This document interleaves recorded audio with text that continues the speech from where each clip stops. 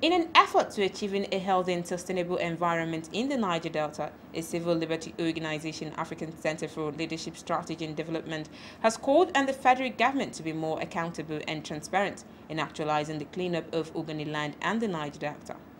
The acting executive director, African Center for Leadership Strategy and Development, Monday Osasah, in a media roundtable highlighted some recommendations in championing and pushing for the actualization of cleaning up Ogoni land and the Niger Delta.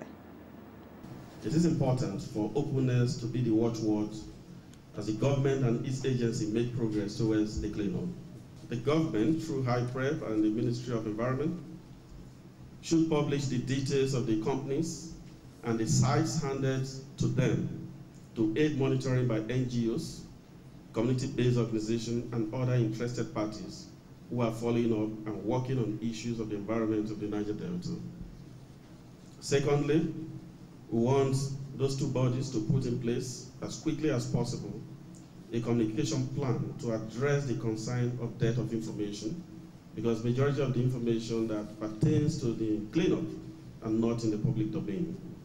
In the light of the Open Government Partnership, OGP, the handlers of the cleanup, including Ministry of uh, Environment and HYPREP,